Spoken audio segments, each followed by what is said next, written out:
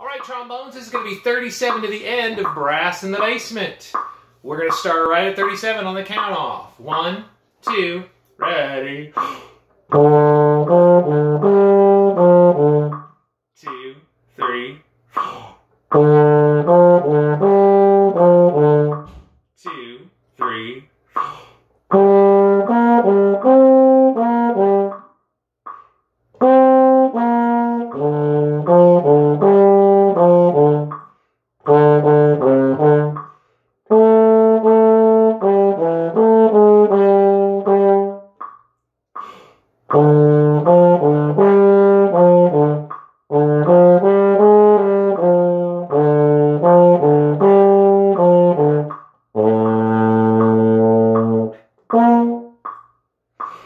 All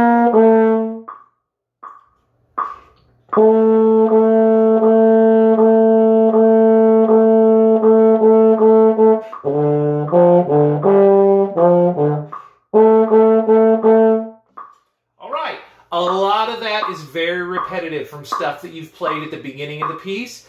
51 to the end is the only thing that's a little new. And honestly, the first five measures of that or so are exactly what you played at the beginning. You got to take a look at that ending there.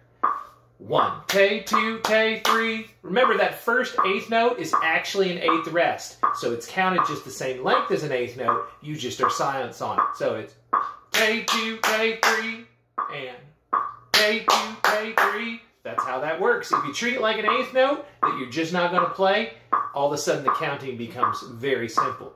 One last thing to watch out for trombones look at measure 49.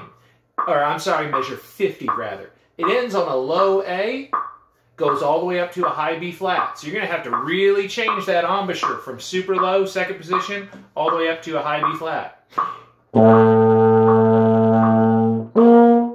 That's a big jump. You might have to practice that a few times to get it out. Okay, see you later.